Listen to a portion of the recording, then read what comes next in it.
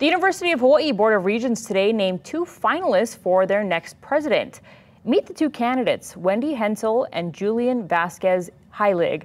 Now, Hensel is currently the executive vice chancellor for the City University of New York, while Vasquez Heilig is the vice president of academic affairs for Western Michigan University. The regents will choose the next president in October, and you can meet both candidates before then during public events starting September 23rd. You can find more information posted to our website, that's kitv.com.